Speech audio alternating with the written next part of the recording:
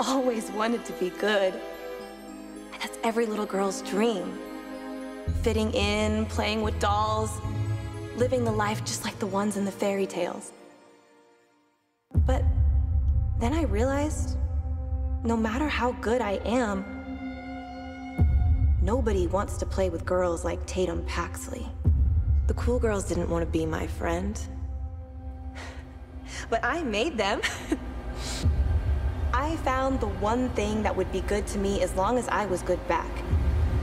It didn't matter who held it. Because I will always be there for it.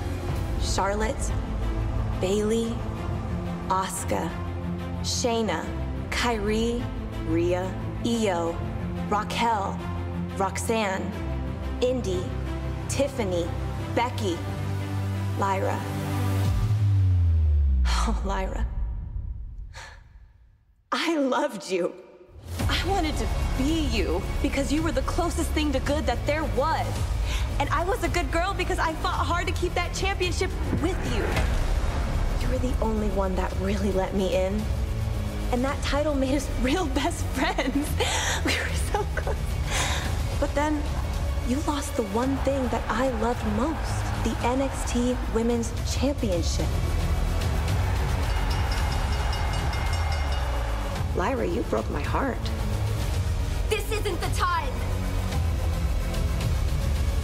I can do this, I'm good. But are you?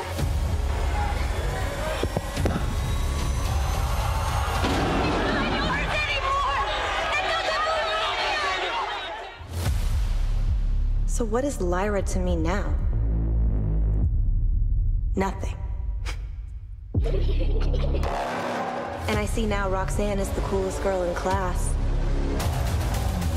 But I can't have that anymore. It needs to be me. Lyra, my sweet dove, you're in my way.